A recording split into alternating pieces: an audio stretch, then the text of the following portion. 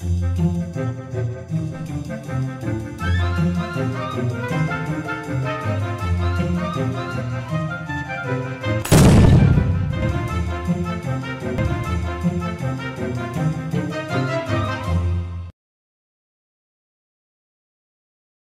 Move करने की कोशिश करते हैं। Question number ten question number ten ये है आपका बियर लैम्बर्ट लॉ से question the measurement of the absorbance measurement of the absorbance of a solution containing NaDH in the path length of 1 centimeter at 340 nanometers shows the value of 0.31 the molar extension coefficient of NaDH is 6200 the concentration.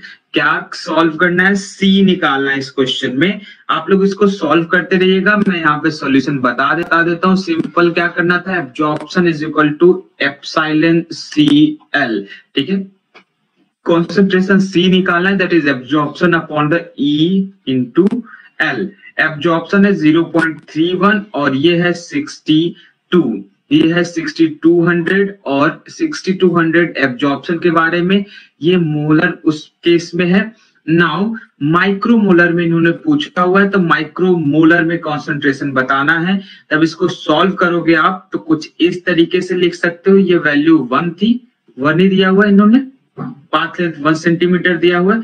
Great तो ये क्या करिएगा thirty one करेंगे तो सौ नीचे sixty two into ten to power four इस तरीके से करेंगे, ये दो बार कटेगा, ये ऊपर जाएगा ये ऊपर जाएगा ten to power minus four आएगा, और इसके बाद वन अपॉन टू अब इसको सॉल्व करिए हंड्रेड हंड्रेड का मल्टीप्लाई कर दीजिए ऊपर नीचे तो hundred upon two into ten to power minus six इसको सॉल्व करेंगे तो आ जाएगा फिफ्टी माइक्रो मोलर बिल्कुल सही जवाब है जी। 50 micromolar is the right answer next question. Among the reagent, among the reagent which of the following combinations will not break the disulfide bond in the immunoglobulin molecule. इनमें से कौन reagent है जो कि डाइसल्फाइड बॉन्ड को break नहीं करते हैं? जी जी एस डी एस कभी डाइसल्फाइड बॉन्ड को ब्रेक करता है क्या? जो लोग ये कभी भी डाइसल्फाइड बॉन्ड को ब्रेक नहीं करता। नहीं करता ये डाइसल्फाइड बॉन्ड को, ना ही ये करता। है methionine is amino acid methionine तो खुद अमीनो एसिड है जी, वो क्या ब्रेक करेगा बेचारा? ठीक है?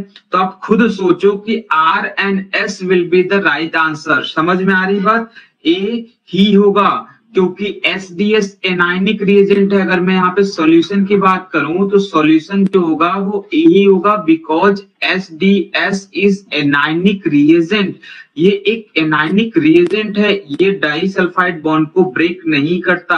वो बीटा मरकैप्टोथेनॉल होता है और methionine is an amino acid ठीक है? मेथियोनिन जो है, वो क्या है? वो एक अमीनो एसिड है।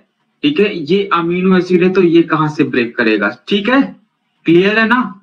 चलिए, आगे बढ़ते हैं। Question number this twelve match of the following question protein elution के बारे में बात करते हैं। ठीक है?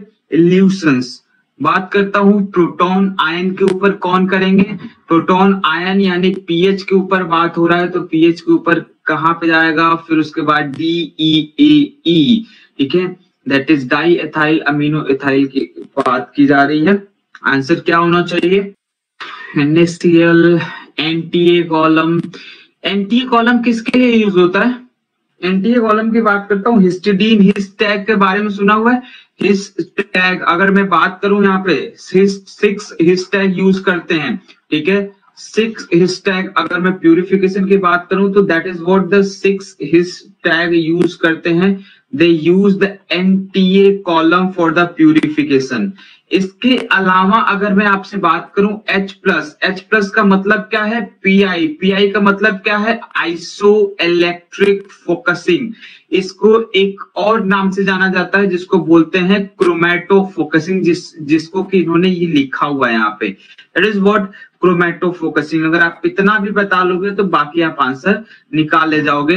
यहाँ पे देखोगे हिस टैग जो है पी क्यू जो है फोर से मिलना चाहिए और क्यू फोर्थ से इसमें मिल रहा है बी में और आपके मिल रहा है ए में।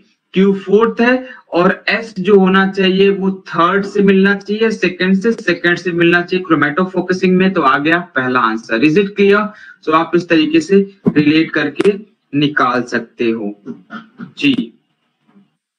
Next question number thirteen the which of the following is not a neurotransmitter कौन सा है जो न्यूरो ट्रांसमीटर नहीं है? हिस्टिडीन नॉट वन आउट सीधे सीधे आंसर देख के बता सकते हो। दो नंबर का क्वेश्चन है। आप खुद देखो। कैसा गंदा सा क्वेश्चन दो नंबर में दे रहा है। ठीक है?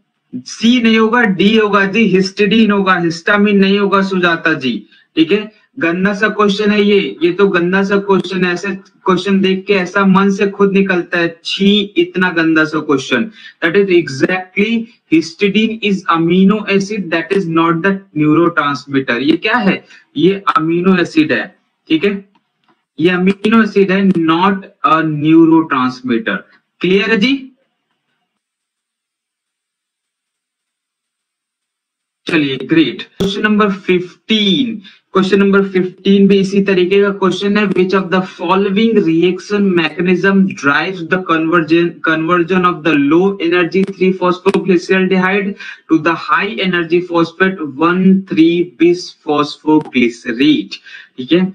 ये आपको यूज़ करते हैं। सो so, इस बारे में अगर मैं बात करूँ तो क्या होना चाहिए आंसर दैट इज़ व्हाट अभी ये क्वेश्चन 2019 में आया था। 2019 में ये क्वेश्चन आया था, उल्टा करके पूछा था सबस्ट्रेट लेवल फॉस्फोरेशन कहा था? देख रहे हो रिपीटेशन का लेवल अभी एक साल भी नहीं हुआ है, एक साल भी नहीं हुआ, उठा के उल्टा करके पूछा हुआ है। तो this is definitely substrate level phosphorylation आप लोग बता रहे हैं। अच्छा which of the following reaction drive the conversion of three phosphoglyceride to high energy one three phospho ठीक है? आप देखने की कोशिश करिएगा कि यहाँ पे क्या है? Oxidation coupled with an hydride bond formation substrate level phosphorylation होगा क्या यहाँ पे? फॉस्फेट इंक्रीज हो रहा है। जो लोग सी आंसर दे रहे हो फॉस्फेट इंक्रीज हो रहा है डिक्रीज नहीं हो रहा है। इस चीज़ को समझो एनर्जी कहाँ से चाहिए? इस चीज़ में जो एनर्जी आता था, वो आपका उल्टा करके पूछा इन्होंने क्वेश्चन को। आप लोग कंफ्यूज कर जा रहे हो। आंसर क्या होना चाहिए? इसका आंसर होना चाहिए बी क्यों? क्योंकि थ्री पीजीएल से थ्री पीजीएल से जो बनता है one three bi PGL dehyde इसके लिए चाहिए था H3PO4 बताया गया था, ये चाहिए होता है यहाँ पे यूज़ करने के लिए। ठीक है? बी होगा, अपोजिट होगा, क्योंकि इन्होंने पूछा क्या, क्वेश्चन तो देखो कि conversion of low energy three PGL से हाई कन्वर्जन थ्री से वन थ्री चार है तो वो फॉस्फोरेशन थोड़ी होगा। यहाँ पे फॉस्फेट चाहिए इसको, क्योंकि दो फॉस्फेट बन रहा है तो फॉस्फेट रिलीज़ नहीं हो रहा फॉस्फेट बन रहा है, इसको फॉस्फेट की इनपुट चाहिए तो वो यहाँ से आता है। इज़ इट क्लियर समझ में आ गया कि आप गलत कर रहे थे आप लोग? चलिए, होप के आप लोगों